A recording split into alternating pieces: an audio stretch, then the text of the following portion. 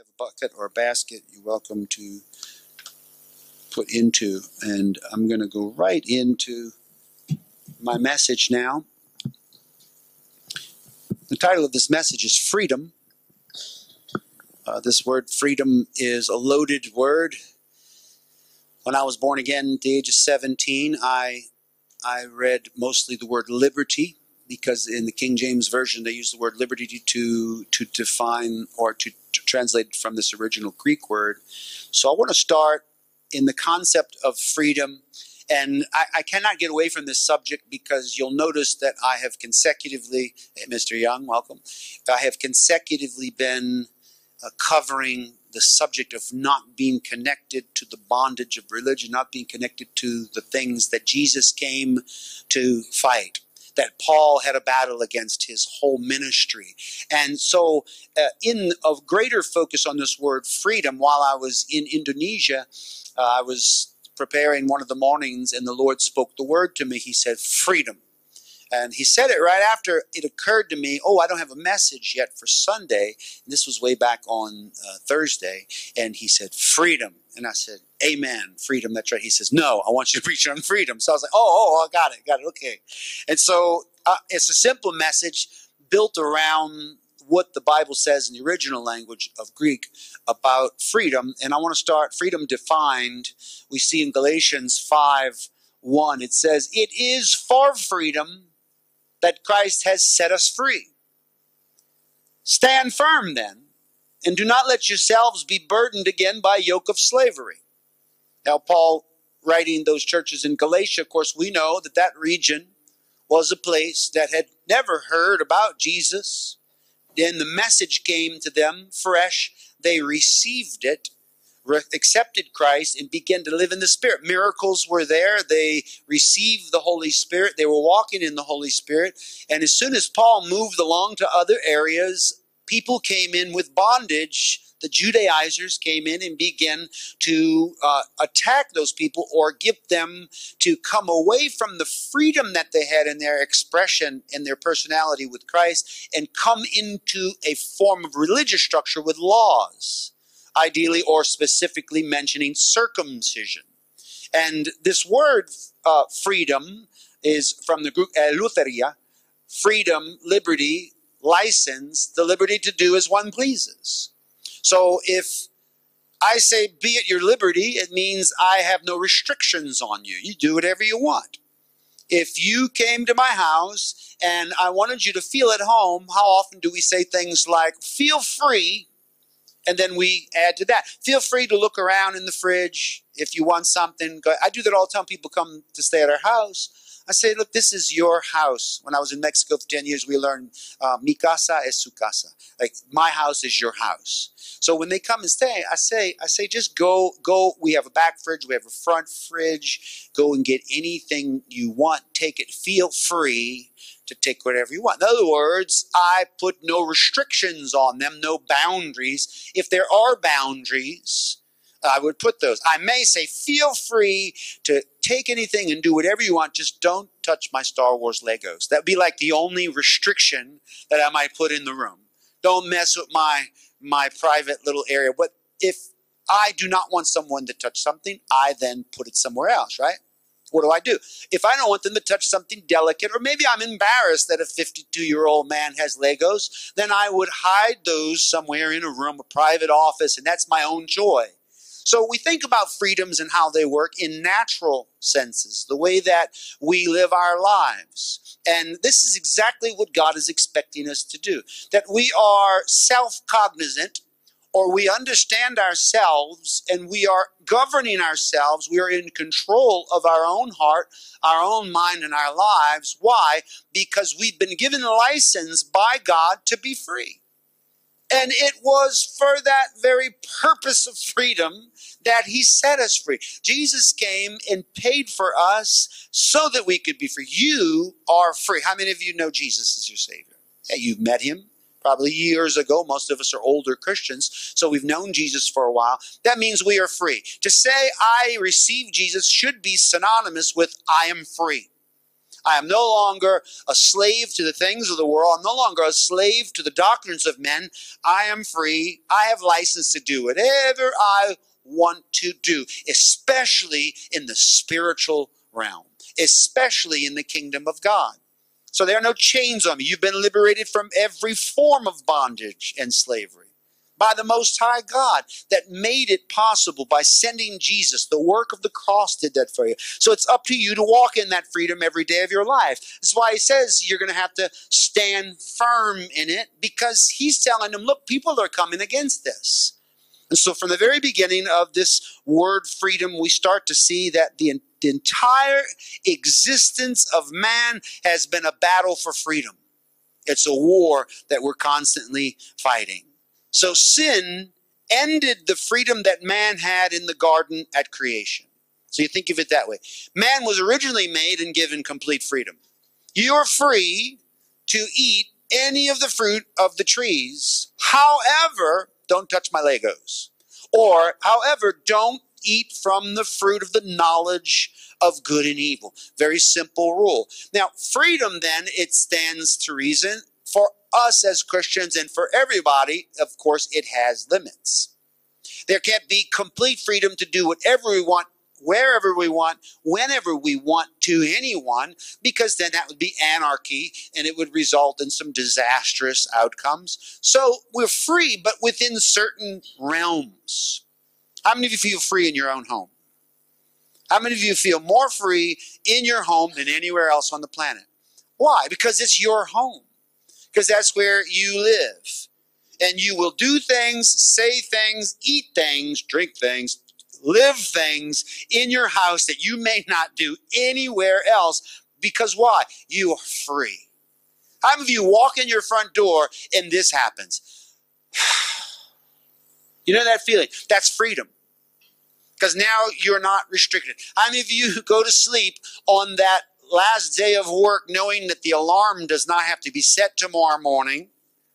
What happens that night? You're, Ah, oh, it just feels so good. Why? Because there's no chains on you. Yay. You want to run around the room. And that's how I feel on Sunday. This is my last service of the week. So I've been, all week I've been going. So Sundays, I'm like wound up to this last meeting. At the end of this meeting, that's why you see me just kind of mellow out. I run out of steam and just sit somewhere. And I, I'm so happy because I have Mondays my day off.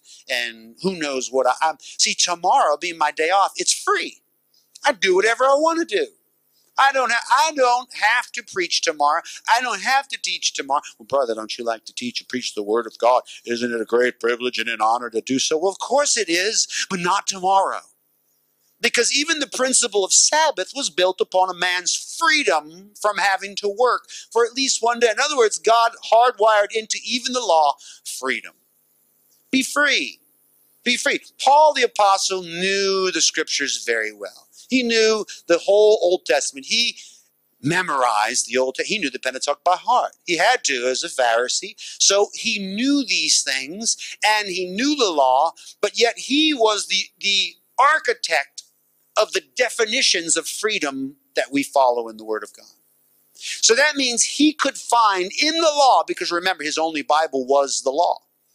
The only everything he taught, it says daily he taught and explained the scriptures. What scriptures was he talking? He did not have the the Gospel of John. He had the Pentateuch. He had the prophets. So he had the law and the prophets. And out of that, the imagery that was coming out of the law of that without being obligated to do it, his freedom was no longer do we have to live by these laws, but oh, what a beautiful law they are. And James refers to it as the perfect law of liberty. So a new law came in that we're no longer under the bondage. We are free to do whatever you want.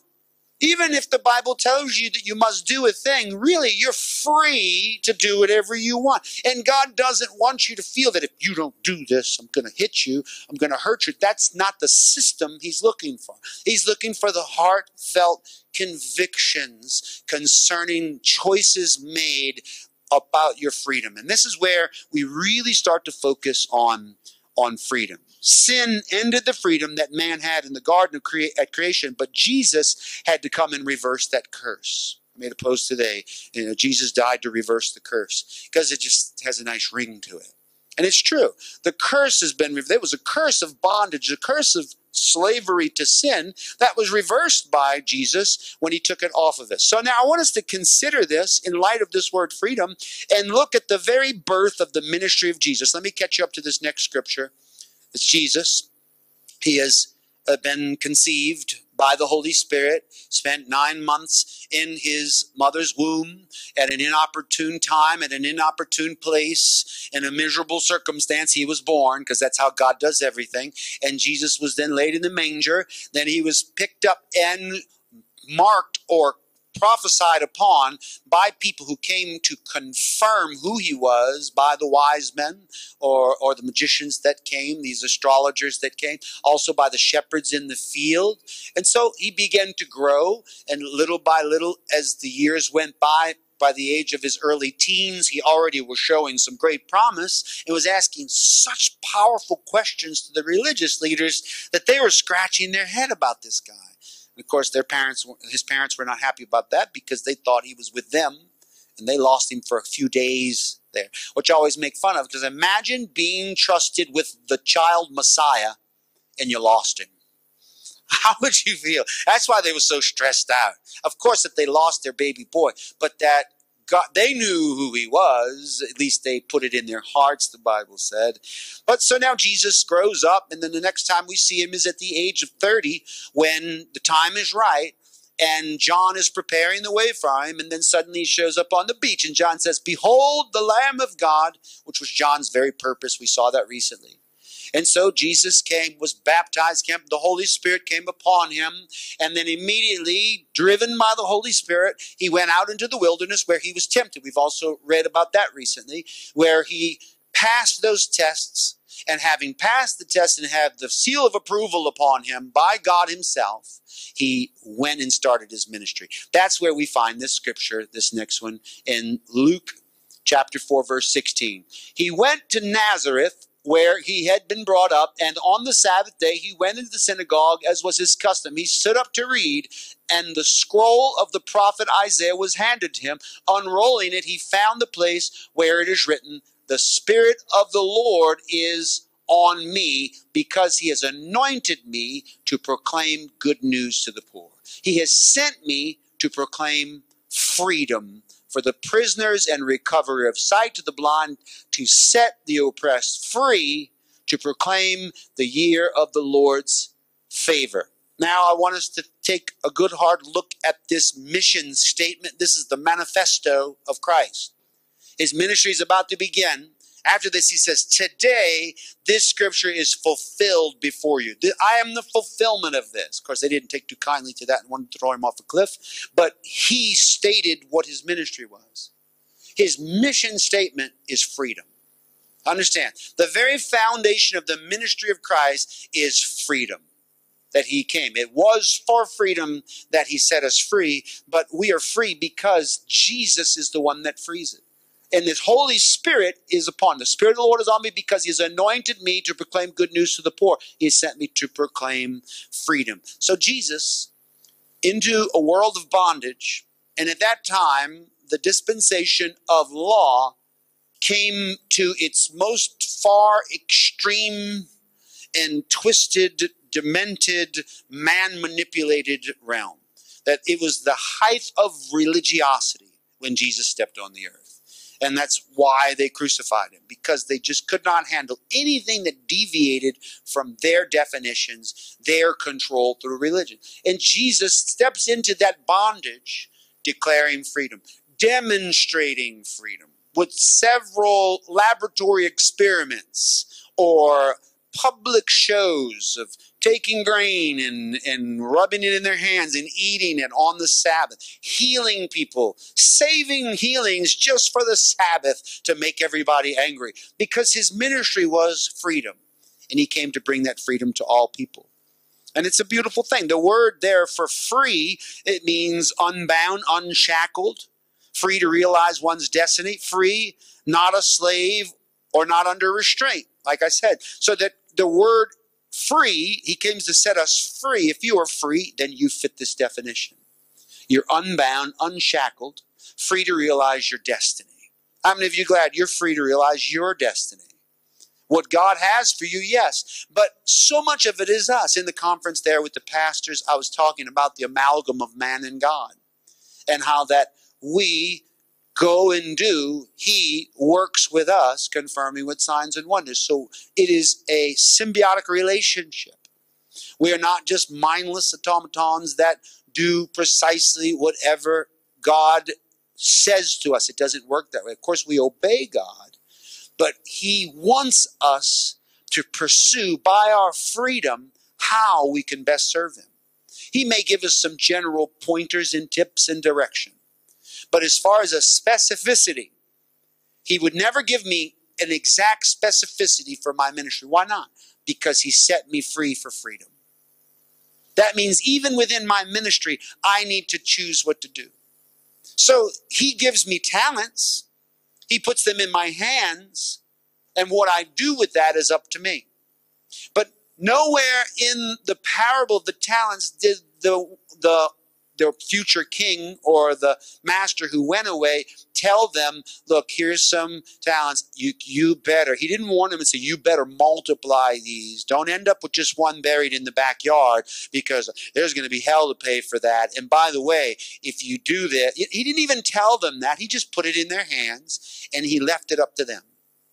And that is exactly what he does with us. The talent he gives us, first and foremost, is the freedom he's provided. So now we start thinking of freedom as a valuable commodity from heaven. That it is a substance, it is a presence, and it is a lifestyle that we can live, but for what? And that's where the Bible really starts to make some clear assessments of man when freedom goes in the wrong way. So we have freedom, but I want us to look at some scriptures. They said, God, He, he made earth but man makes prisons. Let me say it that way. God made earth. The earth is the Lord's and the fullness thereof, but man makes religion. And that's why Jesus always said, Beware of the doctrines of men and beware of the doctrines of the Pharisees. In other words, the doctrines were laws and rules that God did not make. And that's why Jesus would correct them and say, Well, you've heard it say, you've heard them say this. And when he would say, You heard them say versus it is written, that was the difference between what man said and what God said. So you go back and look up those, you'll see this is what God said. It is written. And the other, you've heard it said, is meaning what men have said out of their mouth. And that's why he was contending with that.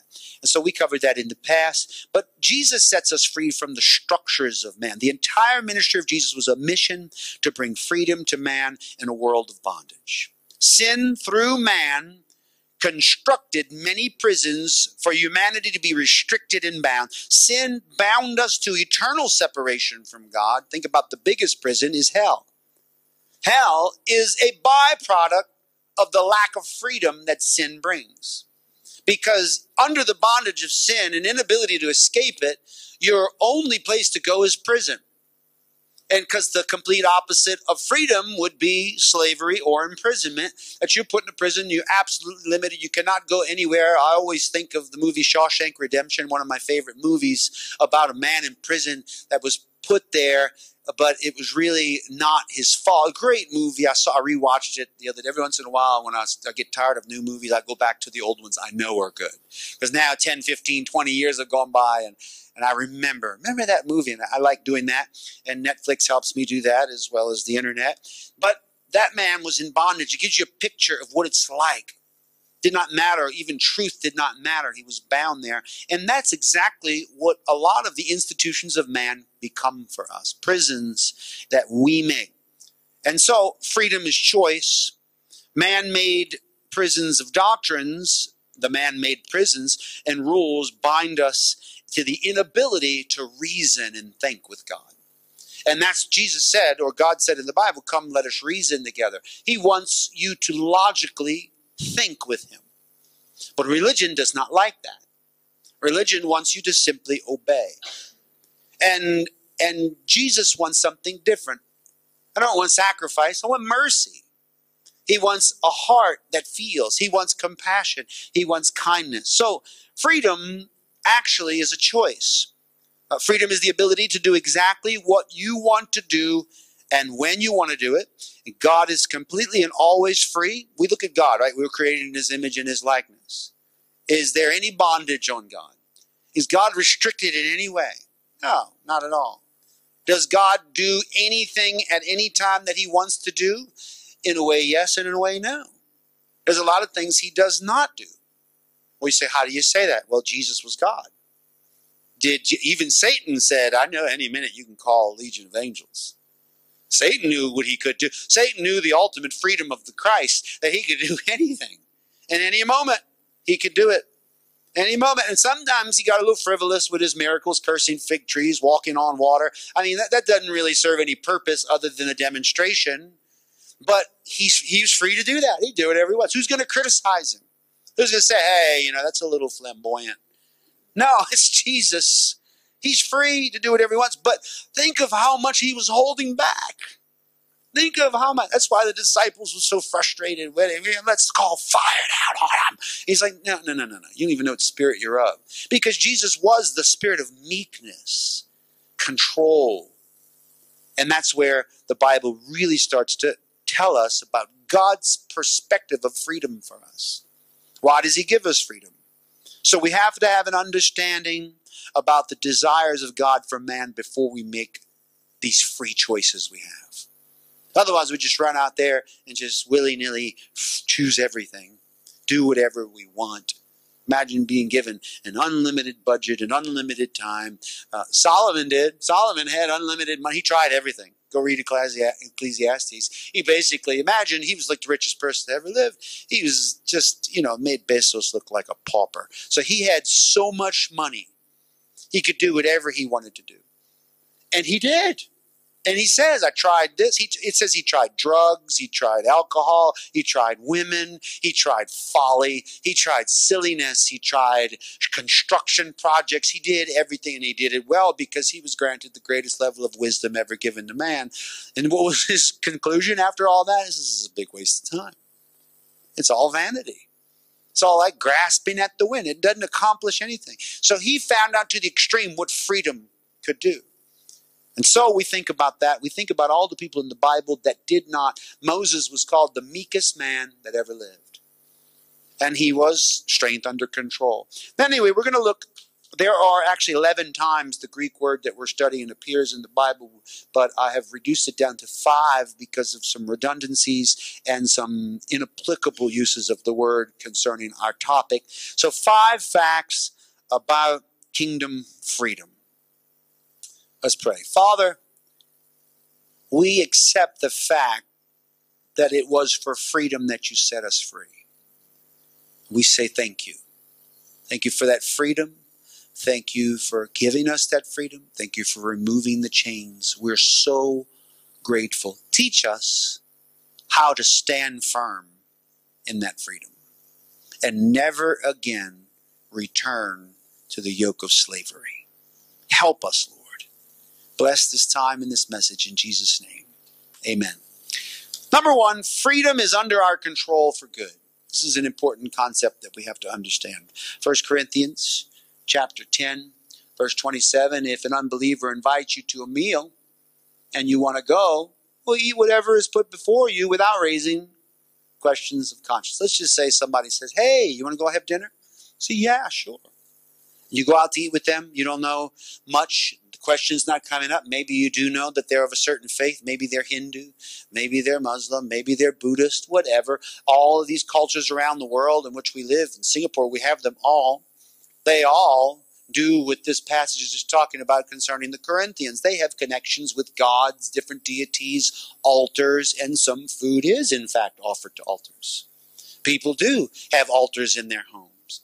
And they do pass the food by it and bless it by their gods. But if he's saying if they don't tell you that, they're not saying it, then don't worry about it. Doesn't matter. The Bible says we all know that the worthless idols are not even animate. They're inanimate objects. They're made out of stone and wood. Don't worry about it. Don't worry, but just eat whatever. Freedom. So initiating, he's telling be free to just do whatever you want. But if some, here comes now, freedom is coming against a wall that God is expecting if someone says to you, This has been offered in sacrifice, then do not eat it, both for the sake of the one who told you and for the sake of conscience. And he clarifies says, I'm, I'm referring to the other person's conscience, not yours. Because Paul taught and laid the foundation of such freedom that he knew his disciples didn't have trouble with this, that they were free.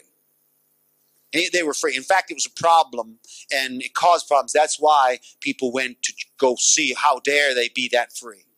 Believe me, I've had free churches all around the world, different countries, and the religious people can't stand that. They don't like it at all. They don't like the freedoms. And so if they see a freedom that disturbs them, they will they will criticize it, come after it, usually not to your face. At least the Pharisees were in Jesus' face, but a lot of church people just they just whisper behind your back. Well, in that church, you know, they do this or they don't do this or whatever the other, just whatever there is. But in this particular case, for conscience sake, I'm referring to other person's conscience, not yours, Paul said. So why is my freedom being judged by another's conscience? Hmm, that's a good question. Why should it be? So Paul lived in this freedom and he said, Why should my freedom be judged by that guy's conscience that invited me to his house to eat? Now, it's a rhetorical question. He's not looking for your answer. He's making a statement to teach here. Why is my freedom being judged by another's conscience? If I take part in the meal with thankfulness, why am I denounced because of something I thank God for? Paul knew that the ultimate authority of a free believer is you could you could bless anything. You can bless it and pray for it. I don't care how many gods it's offered to, it's irrelevant. So it's not the issue of the food. It's not the issue of the altar or the gods or the restaurant or the home or even the person physically. It all comes down to conscience. It all comes down to their mentality and their spirituality or their lack thereof. So that's what Paul's most concerned about. So freedom is under our control in this regard. So we need to understand about freedom that we have been given it that it, this thing is ours. We own that freedom. Freedom is offered to you. Take it. Hold on to it. The Bible says hold on to it. Stand firm. Guard it. We'll talk more about that later. And so we have this. We can do whatever we want. It's under our control. Uh, but be careful. It's under your control. Yes, you own that freedom. And if you think of it that way, if you own something, you have the right to do whatever you wish with it. It's under your control. If you take your MacBook and you're banging on it and dropping it on the ground, what am I going to say? Hey, don't do that.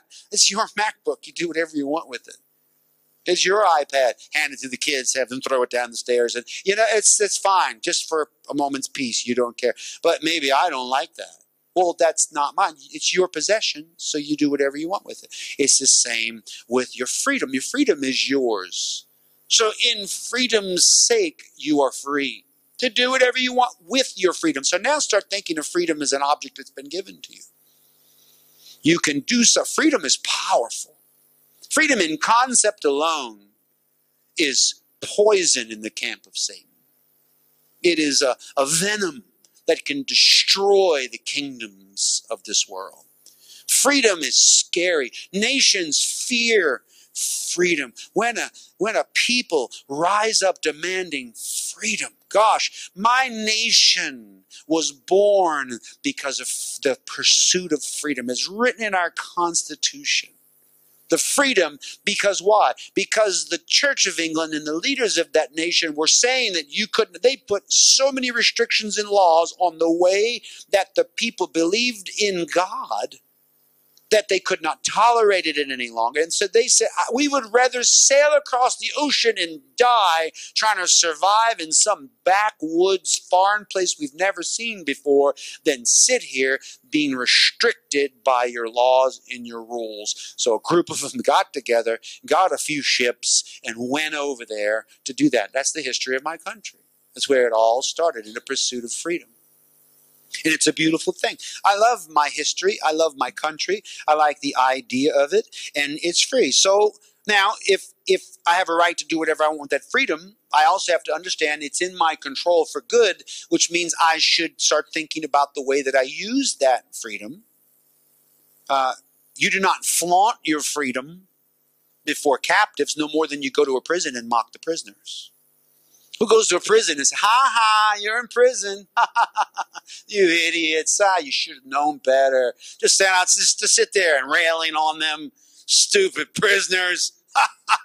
you know, bring a lawn chair and a Coca-Cola and just sit there. Yeah, just just right outside the bars. You know, no, who would do that? It's so cruel and mean to do that. But that's exactly what it's like if you've been given freedom by God now, we're not even going into Romans chapter 14 and the liberties that we live becoming an offense or a rock for stumbling for someone, but that's what I'm referring to. If you've been given these freedoms and someone is in bondage, you have to approach them in a certain way. Do you approach them with your freedom brashly and say, I'm free, I can do whatever I want? Well, unfortunately, a lot of believers do that. And when they do that as a protest against bondage, it becomes an offense. And those people, now it's different if someone comes to you and attacks your freedoms. There's a big difference. Then you have a right to defend that freedom. But you don't take your freedom over into someone's face and push it on them because that's not a spirit of love. And so freedom is conservative, although free. And we must be careful to conservatively measure out the results of our freedom to be like Christ. As I said, Jesus conserved his freedom carefully to put himself in a position to do good for everybody in the right time. If he had been too free too soon and did whatever he wanted to do, he would not have been as effective as he was. His effectiveness was based upon his ability to use his freedom correctly. And I find that is a is kind of a call to us to do the same thing. Number two, freedom opens our eyes. 2 Corinthians 3:15 even to this day when Moses is read he's referring to the Pentateuch again the books of Moses a veil covers their hearts.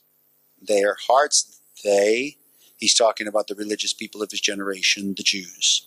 But whenever anyone turns to the Lord the veil is taken away. Now his Lord is Jesus Whoever turns to the Lord Jesus, the veil is taken away. Now, the, the Lord is the Spirit.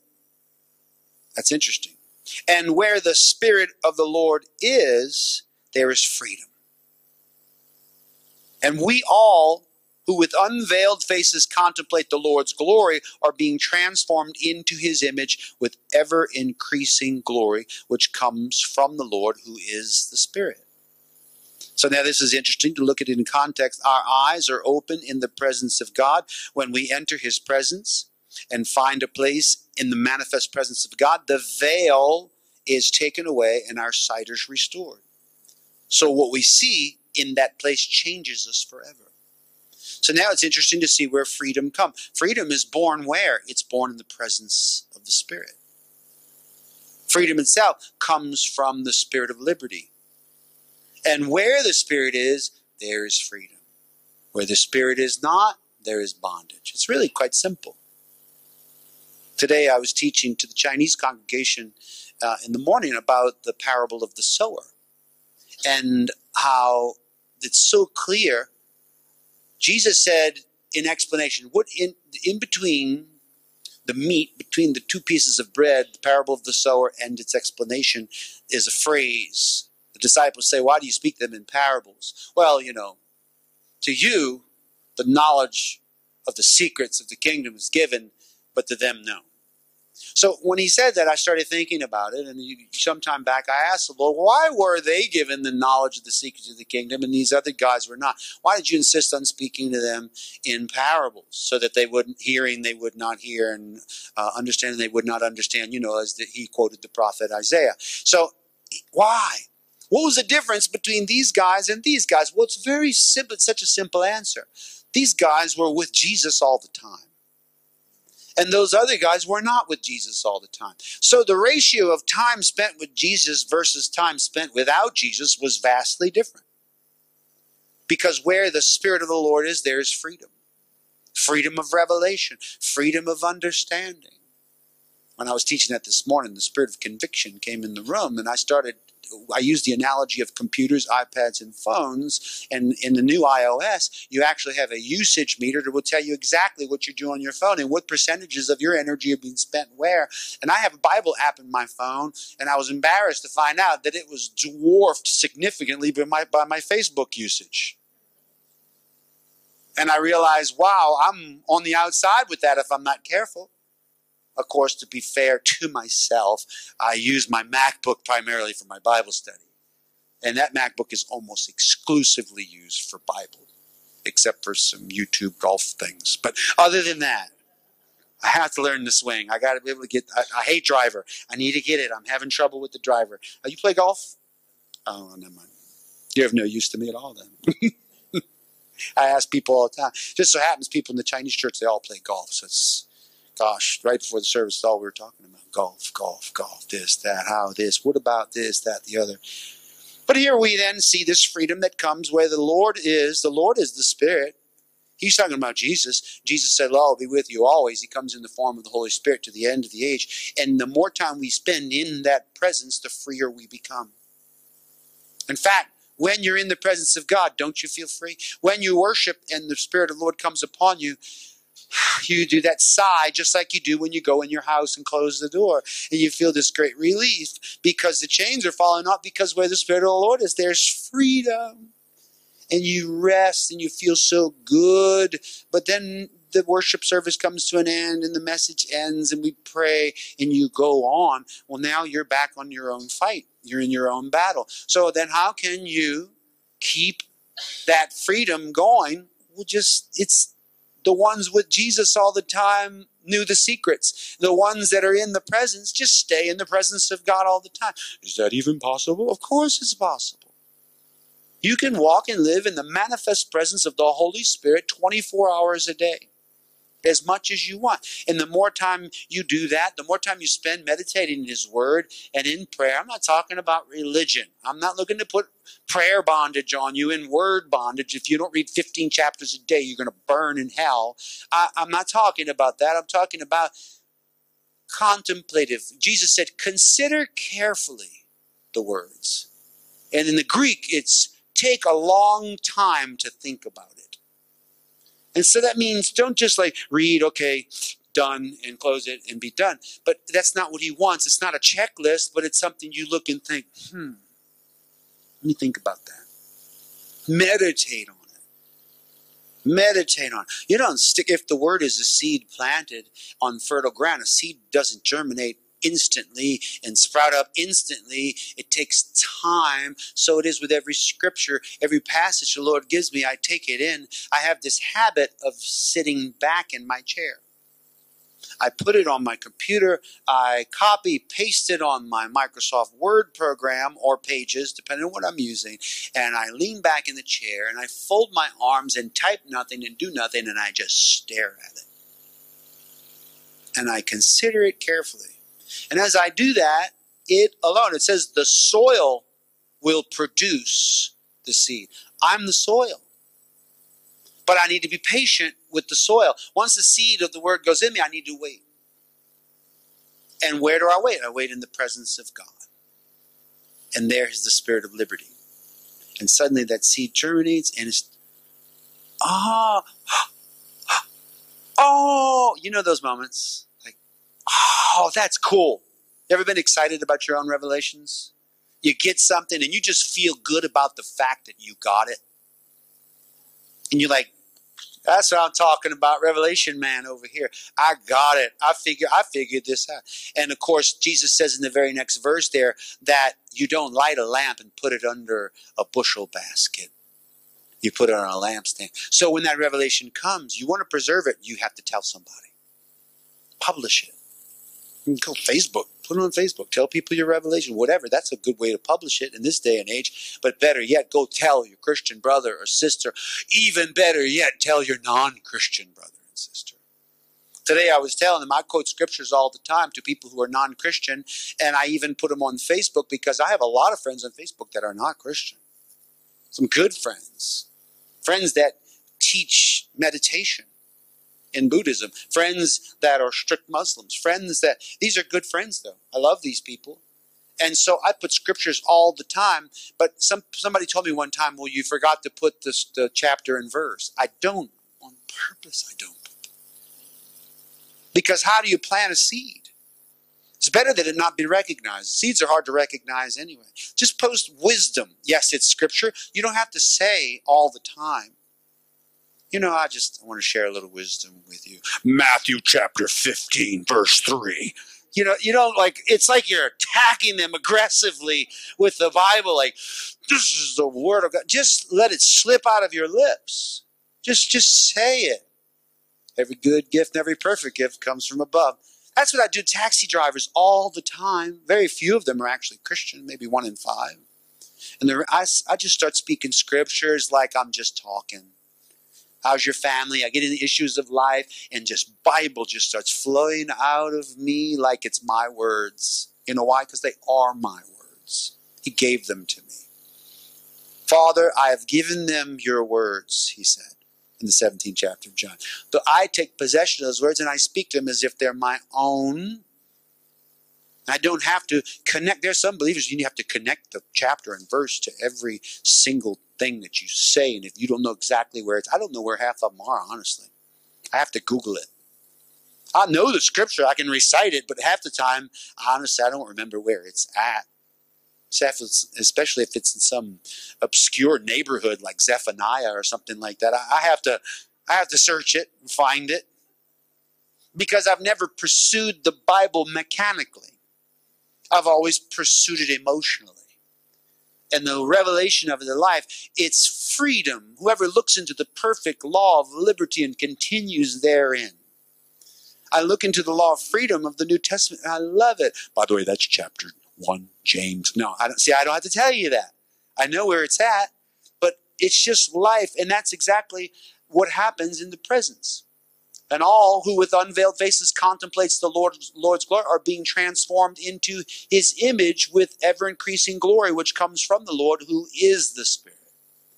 So this is a transformation that comes to us when we turn to the Lord and we are made to see things we've never seen before that metamorphosizes us. The metamorphosis in the Greek, that word transformed is the same as transfigured with Jesus on the mountain. It's the only places it's used in the whole Bible. So we can be transfigured, altered, and changed into light bearing beings. What is light but revelation? Freedom. The very thing he came to give recovery of sight to the blind. His mission statement of freedom. If the Holy Spirit is present with us, we have an opportunity to have our eyes open. But we must take advantage of that moment to gain spiritual insights into what God has for us. Whenever you feel the anointing, whenever you're in the presence of God, just tell Him, open the eyes of my heart. I sang that song on purpose. I know it's old. I sang a bunch of old songs today. One brand new song written by Gabriel, which I really like. So it's interesting to note also his image. It says that transform into his image. And immediately you interpret this to mean, and I'm on your side, the image of God, how God is. But what if it could also mean, and this is just a conjecture, what if it could also mean an image that he's projecting to you of what will be, of you in the future? Transformation, changing of your life is you getting directions from the wisdom of God from heaven about what to do. He does this pictorially. I prayed for that couple in Tanjung Pinang. I saw the school. I described it exactly. And they knew that I was describing their blueprints. That's that's how we have it set up. It's going to be like that. So that was a picture. I saw the image from God. Where? Where the Spirit of the Lord was. I was the last to pray. I waited because I had my team with me, and they're so anointed, it's crazy. So they prayed, and the glory of God was everywhere. And they think I'm just, you know, waiting because I'm the pastor. I'm going to be the last one to pray. No, I'm letting the atmosphere just grow and grow. They're they're ramping it up. Now the whole I can't go wrong at that point because it's not about me anyway. It's about the presence of the Most High God. So where the Holy Spirit is, I, I put them out there. It's fun too. I do that in altar calls. I just shove them out there, have all the people line up. Go ahead, team. release them like hounds. I mean, they're after. Caleb is like a hound. He's like, give me somebody. You know, he goes into the crowd, just, ah, and then people are falling and screaming and being filled with God's presence and healed. And I'm just pacing myself. Because by then, the, the frenzy of faith has been produced because when someone sees someone receive, their faith rises a notch and they start receiving. And the more people that receive from God, the more have faith to receive. So you see kind of a domino effect that happens in those meetings. And that's why I, I'm going to wait until the right time. And it's easy. I can come up with a finger. Boop. Boom, like dead people. And people think, wow, he's so anointed. I'm not anointed. God, Spirit, is now active, moving, and flowing. So I send my guys out there to do the hard work. They're plowing the field out there, praying for the person that's doing this. Staring at you. You know, that moment of empty hands on empty heads where you're praying. And I know I'm not going to pray for that guy. Let them worry about that. And I look for the ones. I'm teasing partially, but partially not. But he gives you an image Really, he did that for me in Acapulco when I built the tent. He showed me a picture of that tent and I went and made it. In India, he showed me the river training center and I made it. I saw it in a vision. In fact, there's only three times that I've seen crystal clear vision of church facilities. It was the tent. Actually, I saw this place. I, I, did see this carpet and see the curtains and everything in here, but it was a, a, a the tent in Acapulco, the river ministry uh, thing that we did in India that Myra now owns, operates, and has, and um, just now in Tanjung Pinang. To that level of clarity. And because of that's why I feel like, oh no, we're hooked now. We're going to have to be a part of that ministry. We're going to have to be connected because why would God show me so clearly the paint on the walls, the texture of the walls I saw, everything, the tiles on the floor, and in, in my vision today, I walked every hall. It was so clear, it was scary. Because when the vision came, I got very, very sleepy. And that has only happened to me one other time in my life, also in Indonesia, when he put me into a trance to show me the Syrophoenician woman. And today that I was I just I couldn't keep my eyes open. I put my head down and and just in suddenly I was standing in that facility. Why? Because it's an image that God gives us.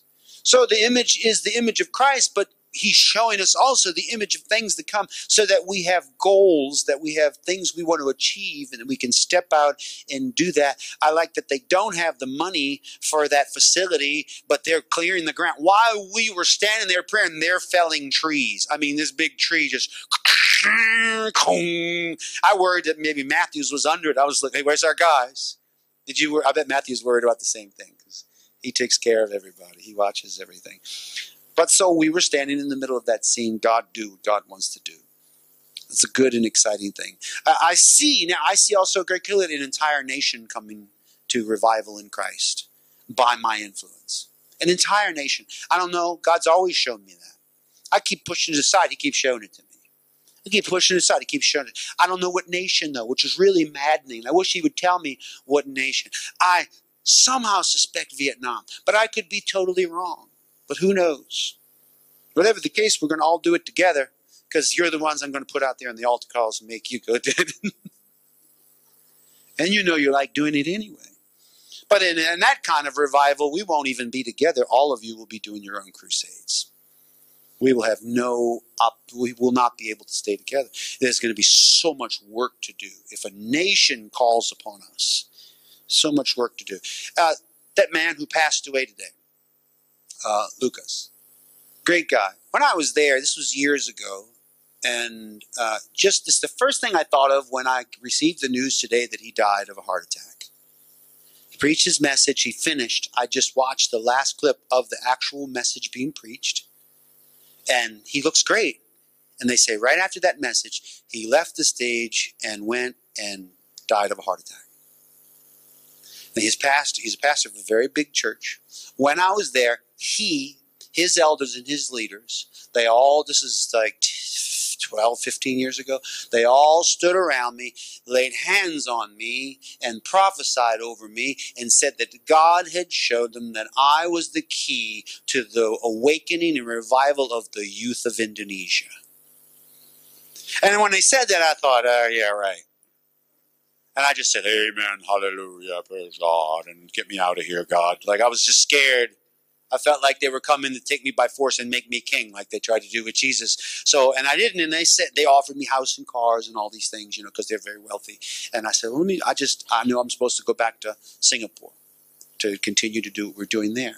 So anyway, I left that. But today I had an interesting thought about that when he when when he passed on, and that this time has gone by, and there's this weird, freaky thing that's happened in Indonesia with me that young people love me.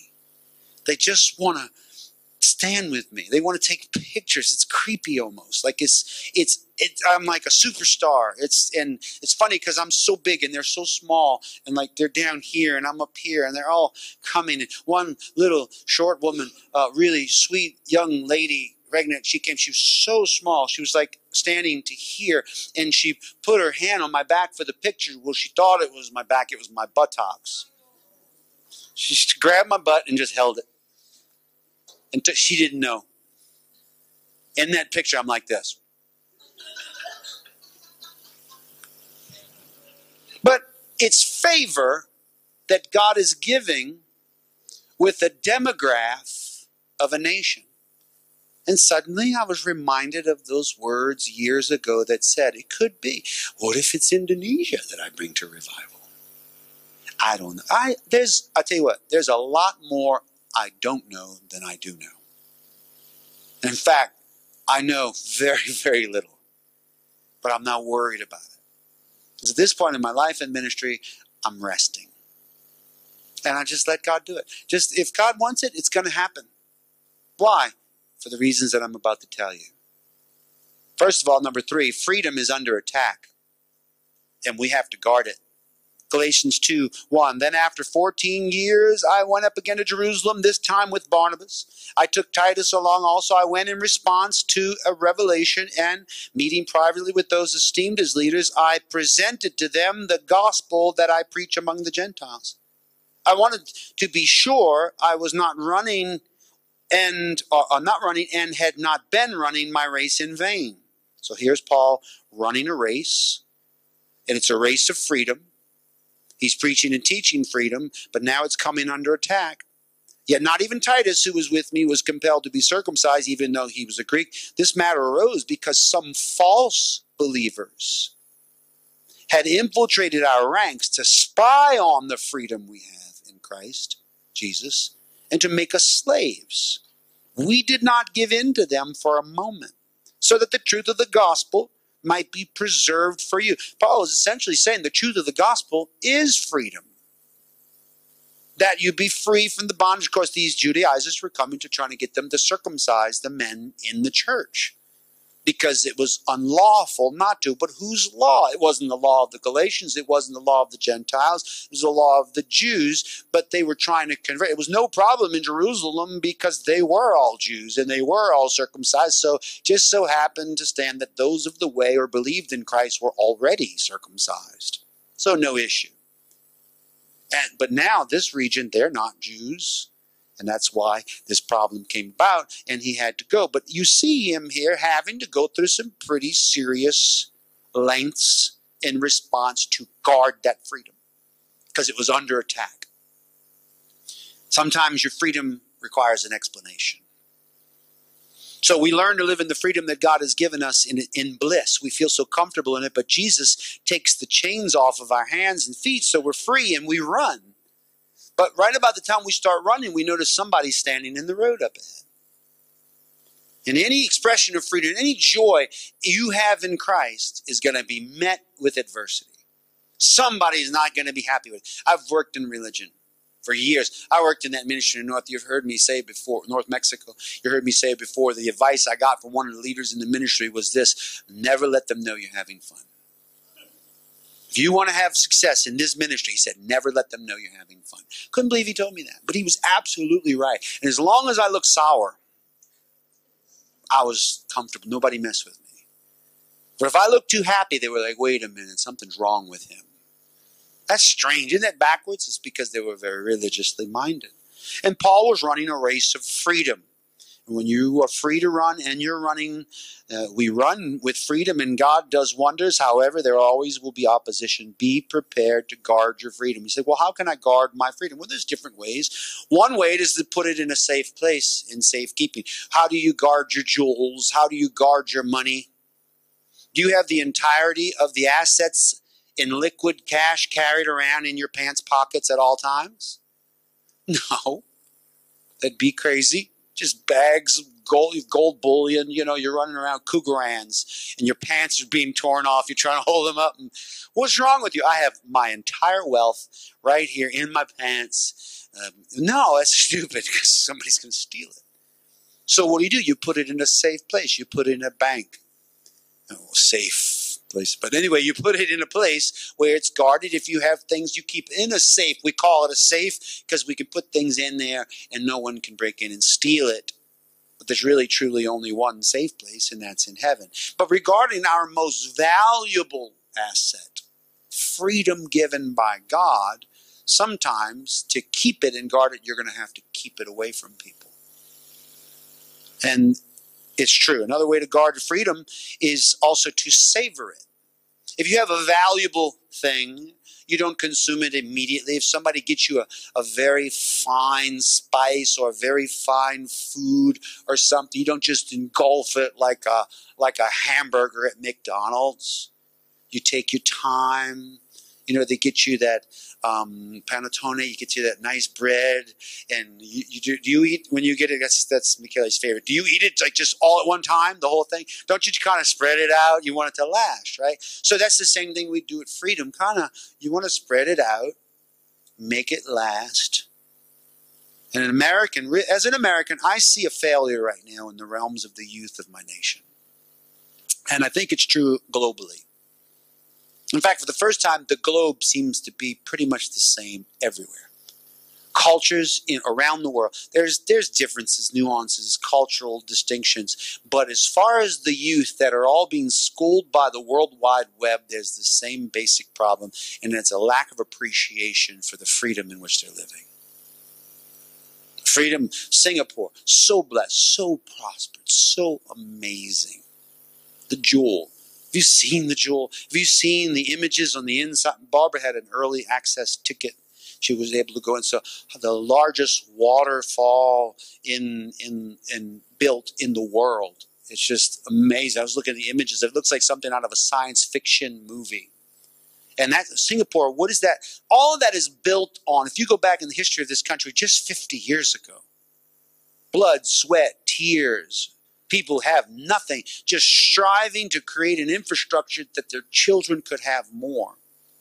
And then those children having a little bit more, but still striving to do the same thing to produce now a level to where all the young Singaporeans are big. You notice how many big people now you see? Why? Because they're eating meat. That's why. They're eating a lot of meat. Honestly, it's come down to simply they're ingesting large amounts of protein because now the resources are there. I see kids on the trip. When I first came to Singapore just, you know, 14, 15 years ago, I was bigger than everybody. Now I'm getting pretty average in that MRT car with these kids with their basketball uniform, their sport, they're doing things, their chests are bigger, their arms are bigger. I'm seeing buff Singaporeans. Why? Because of prosperity, because of freedom. And I don't think they really appreciate where it's come from. And one thing for sure that will cause you to lose your freedoms is a lack of appreciation of it. Esau lost his birthright because he didn't appreciate it. So I think it behooves us to educate the youth about how they need to appreciate the world in which they're living. There's some youth here, but I'm not really talking to you guys. Unless it applies, then yes, please do take it to heart. So we can guard our freedom by holding on tight to it, not squandering it, measure it out carefully, appreciating the value of it. And we must value freedom to go. You have to value it to begin with to even want to guard it. And I value my freedom above all things. Number four, freedom to serve others, not self. You, my brothers and sisters, were called to be free. Say amen. He's just saying it clear. You're called to be the calling, ecclesia, called out of the world, out of the darkness into his marvelous light. For what? To be free. But do not use your freedom to indulge the flesh. Rather, serve one another humbly in love. It's really good advice concerning freedom. For the entire law is fulfilled in keeping this one command love your neighbors as yourself. If you bite and devour each other, watch out, or you will be destroyed by each other. So say, walk by, so I say, walk by the Spirit, and you will not gratify the desires of the flesh. Why? Because it is always the predilection and impulse of the Spirit that you use your freedom to serve people.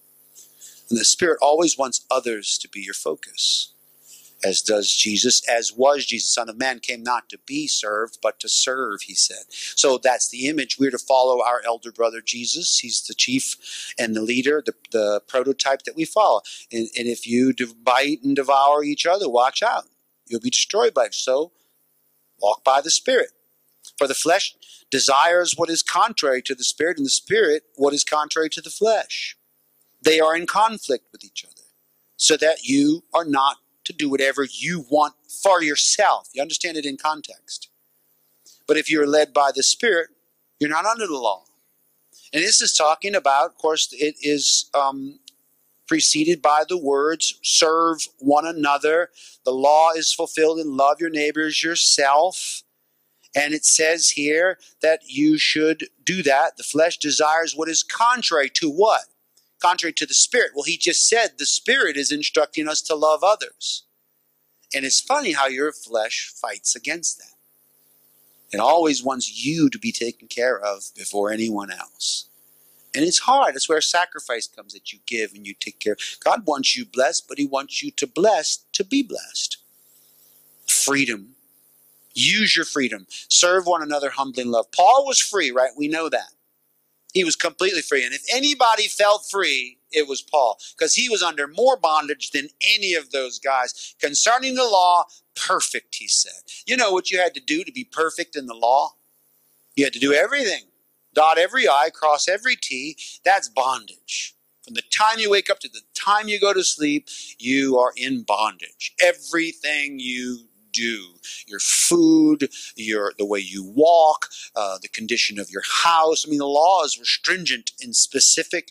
Everything that you do, and he got set free from that, and could, while being with the Gentiles, be just like them and disregard those laws.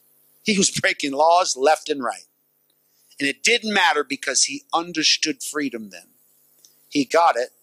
And that's why he also got in trouble because the Jews who were still living in Jewish culture could not understand a man who had been a Pharisee converting and doing such wild, crazy things. But they were also the same people that had issues with Jesus, friend of sinners, which we just saw. So in this case, he was aware, Paul was aware because he knew the, the, the, law very well. Romans 1 1, Paul, a servant of Christ Jesus, called to be an apostle and set apart for the gospel of God. This was because he knew without a doubt that the law was the image of things, so he took that and he used it. Live as free people, but do not use your freedom as a cover up for evil. Live as God's slaves, is what Peter said. And we're just finishing now. Number five, freedom is for eternity. This is the last verse. I consider that our present sufferings are not worth comparing with the glory that will be revealed in us.